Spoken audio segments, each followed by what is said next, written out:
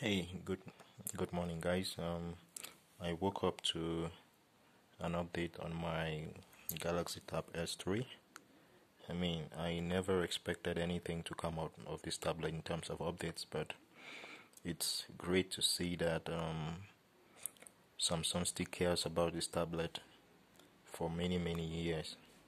I think the large uh, the, the last um, uh, security patch was in August of last year, 2019 so it's a great um, joy for me to present to you the March 1 update, which means if you purchase your Tab S3 now, you're still as good as newer phones that are still stuck on the old security patch.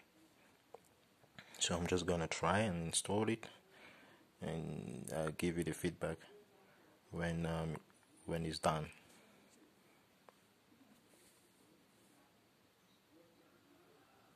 Okay it's it's beginning the initial steps of install.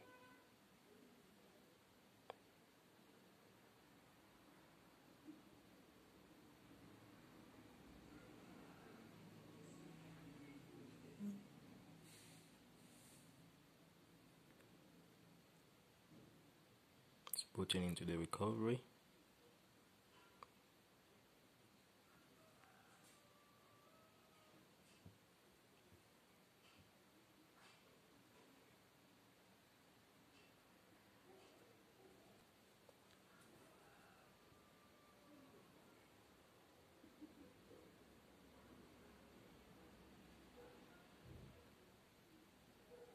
so it, it takes fairly a number of minutes actually. At this time it had taken about 5 minutes before it got to 33 percent.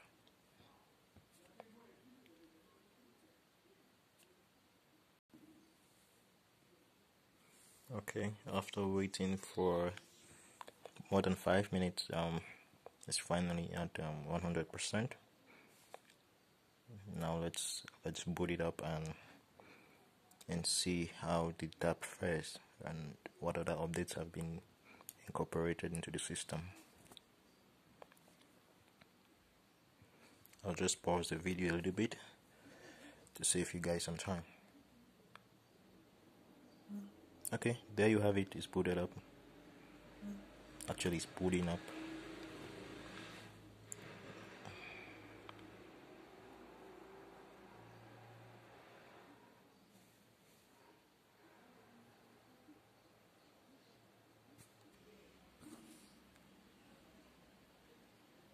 So it might take again a while to optimize all the apps.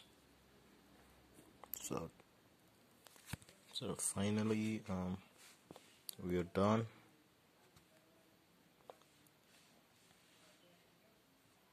Now I need to put my pin.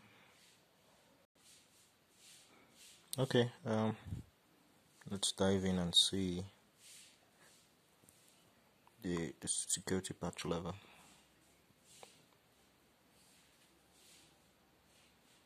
guess it's still booting up so it's not yet as swift as you would expect. So go to status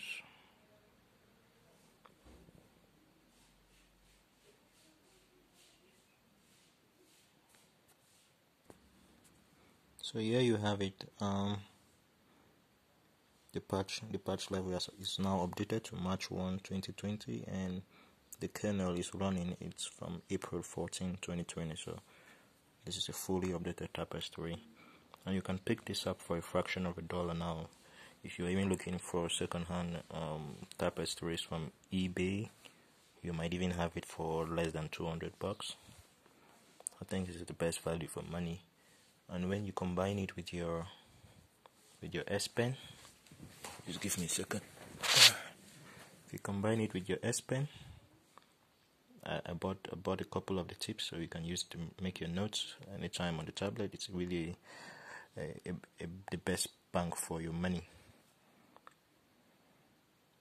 All right, see you guys next time.